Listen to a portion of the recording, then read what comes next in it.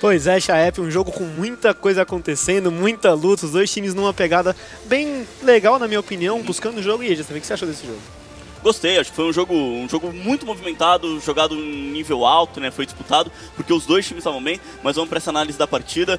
Eu senti que realmente a gente teve o que a gente esperava. A gente falou que ia ser o jogo da semana, que era o melhor jogo, um jogo que valia a liderança, já tem uma cara de que os times vão se encontrar também no mata-mata, que vão continuar se encontrando. E acho que desde o draft teve essa coisa. Teve é, trazer um Lucian cedo, jogar a Kayle contra uma Pop. A Kayle demorou para chegar no jogo. É, vocês estavam sempre cantando a bola né, do tempo da Kayle, dos níveis, da itemização.